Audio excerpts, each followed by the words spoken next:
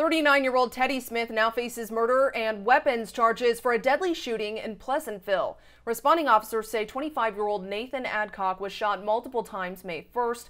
He went to the hospital where he was pronounced dead. Katie Johnston for CBS Philly.